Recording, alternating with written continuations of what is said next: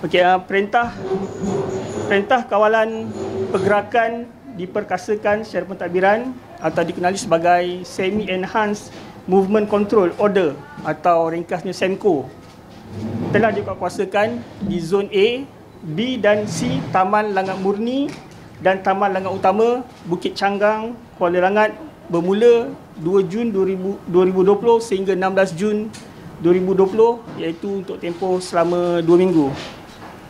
Dan pelaksanaan SEMCO ini adalah berikutan kes 24 orang pekerja pembersihan di KLIA yang didapati positif pada 28 Mei 2020 yang mana daripada 24 orang ni 20 orang tinggal di dalam daerah Pulau Langat dan baki 4 lagi dinilai Negeri Sembilan.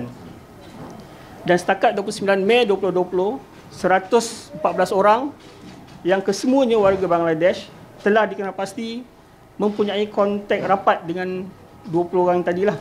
Mereka ini telah diambil sampel dan telah diasingkan serta-merta di stesen kuarantin di Ilkap dan juga di Ilim, Bangi pada 29 dan 30 Mei 2020.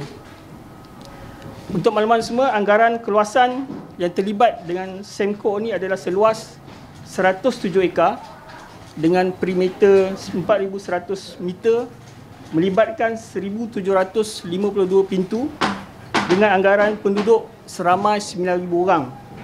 Dan ini adalah merupakan SEMCO terbesar di Malaysia setakat ini dengan pemasangan konsertina wire uh, terpanjang dengan jarak 4.1 km. Uh, untuk kawasan yang terlibat ini kita telah bagikan kepada tiga zon iaitu zon A, zon B dan zon C melibatkan 1752 unit uh, seperti berikut iaitu zon A Taman Langat Utama Bukit Canggang terdiri daripada 480 unit. Zon B Taman Langat Murni Bukit Canggang 778 unit. Zon C Taman Langat Murni Bukit Canggang 454 unit lah. So keseluruhan tiga zon ni totalnya 1752 unit rumah. Keseluruhan kawasan yang terlibat ini dihuni oleh 70% rakyat tempatan dan baki 30% lagi adalah uh, warga asing. Seterusnya, kedai menjual makanan dan juga keperluan harian di dalam kawasan kawalan ini dibenarkan beroperasi seperti biasa. Ini untuk memudahkan uh, penduduk yang terlibat untuk membeli sendiri barangan makanan dan juga keperluan harian mereka. Ya.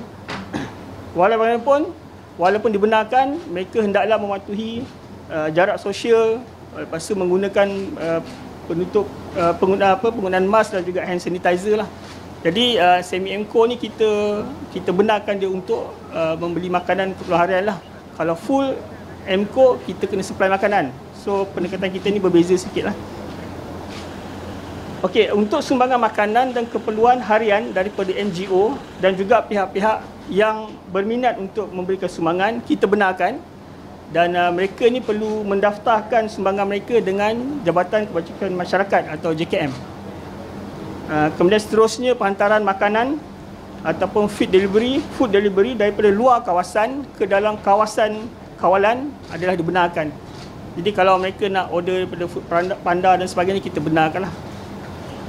Dan terakhir sekali, Saringan ke atas penduduk telah dijalankan setiap hari bermula pada 30 Mei 2020 di ketiga-tiga zon A, B dan C.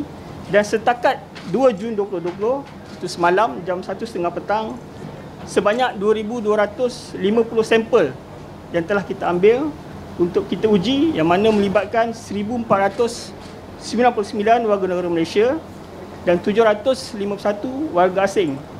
Dan saringan dan pengambilan sampel daripada keseluruhan penduduk dijangka kita dapat selesaikan pada Jumaat ni.